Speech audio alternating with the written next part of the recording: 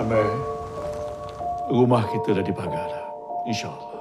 Tak ada gangguan lagi. Ada garanti ke ya? Dia tengah famous sekarang ni. Ada banyak video-video viral dia ubat orang. Aku rasa yang Tok Haji ni menipu. Sebab tengok daripada cara dia berubat. Pelik lah. Kau tak apa air ni? Astaghfirullahalazim.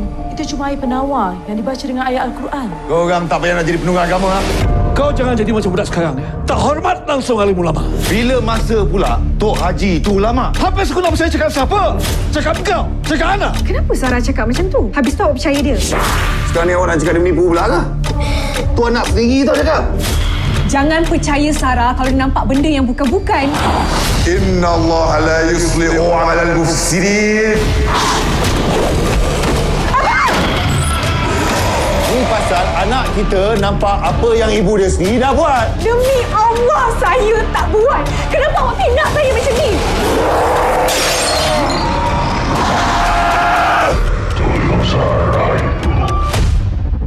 Bismillah. Kat luar sana ramai penipu yang gunakan agama, gunakan nama Islam untuk mengubat orang.